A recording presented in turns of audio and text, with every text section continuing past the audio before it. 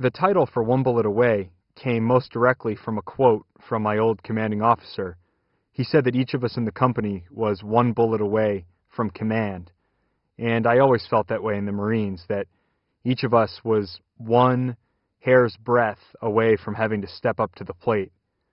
Less directly, it's also about the relativity of safety. Something I had a hard time explaining to my family and friends at home when I was in Iraq and Afghanistan was that it wasn't necessarily as dangerous as they thought. We in the United States tend to think Iraq is a dangerous place. But when you're in Iraq, some streets are dangerous and some aren't. And then when you're on a certain street, one side may be dangerous and the other one's not. Taking it all the way down to the micro level, I mean, if you're standing next to a wall, you can be in a perfectly safe spot, and then you step two feet away and you get killed. So at any given point, you're one bullet away, sort of walking that razor's edge between uh, safety and danger. And then it's also about a phenomenon that my platoon used to talk about a lot. We'd get through a firefight, and people would wonder, you know, why some got hit and some didn't. How is it that we had 40 bullet holes in a Humvee and nobody inside got hit? The Marines came up with a term for this. They said it was the sacred geometry of chance the idea that the difference between life and death out there is one of seconds and millimeters. And I, I liked that phrase, the sacred geometry of chance. For me, it really summed up that idea that we're all existing here, you know, hanging by a very fine thread. All of those things together really resonated for me in the phrase one bullet away. There's a line in the audiobook where I say every Marine thinks he's the toughest guy in the room let's be honest about it. People don't join the Marines for college money or to learn a skill. People tend to join the Air Force or the Navy to do that, maybe even the Army. Uh, people join the Marines, or at least I joined the Marines, because the Marine Corps didn't make any promises except to give me a hard, transformative experience.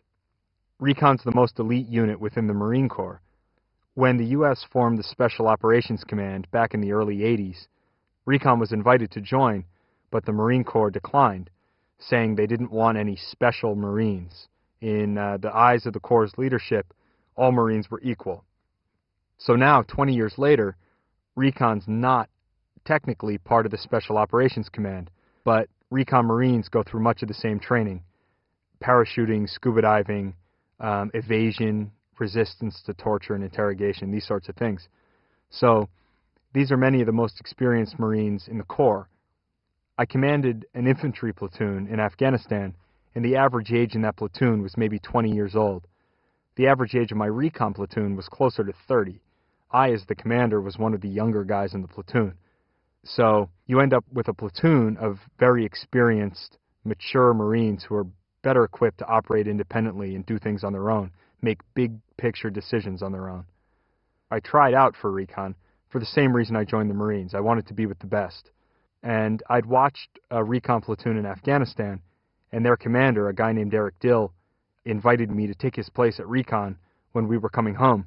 And it reminded me, actually, of a poster I'd seen when I was thinking about joining the Marines. In the recruiter's office, there was a poster that said, Superior thinking has always overwhelmed superior force. And that to me is what recon's all about. When a recon team does its job well, they don't fire a shot. It's about finesse. It's about intelligence. And that's not to say they're not able to you know, put the smack down if they have to, but that's never the goal.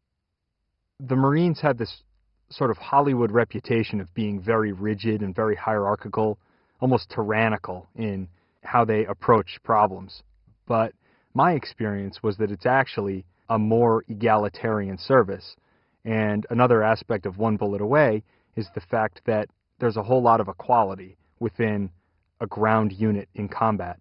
I, as the commander, was right up there, you know, sticking my head up along with the lowliest private.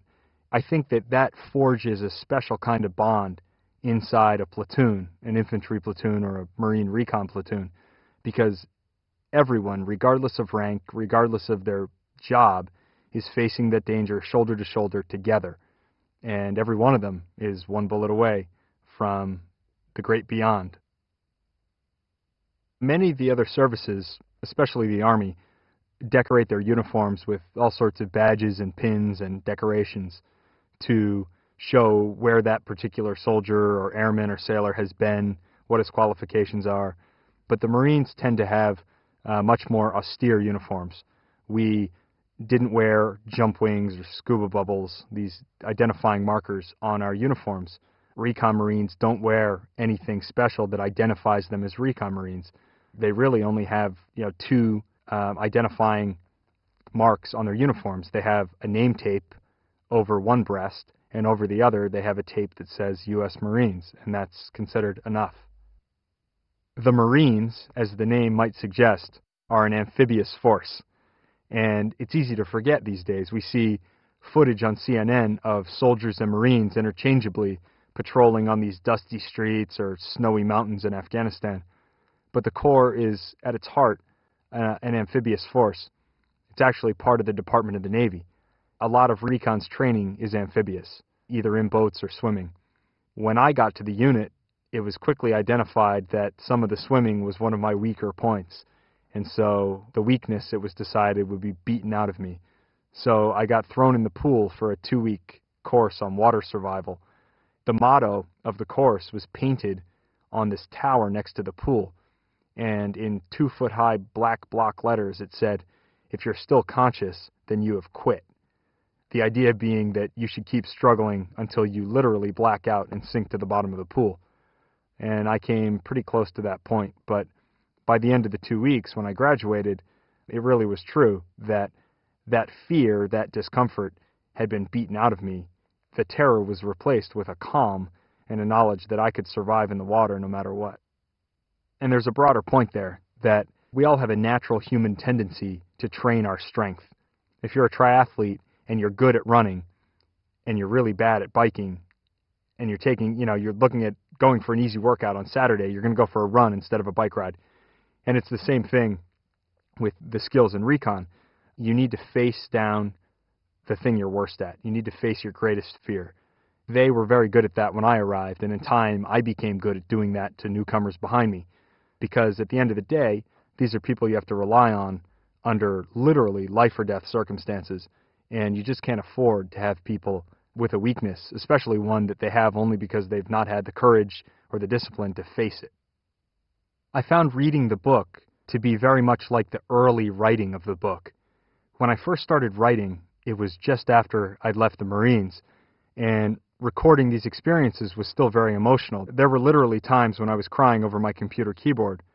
And as I went through subsequent revisions of the book, I was able to distance myself more from it emotionally and look at it more as craft and approach the words more objectively but it was a surprise to me when I started reading that all of the immediacy, the emotional immediacy of that early writing came right back.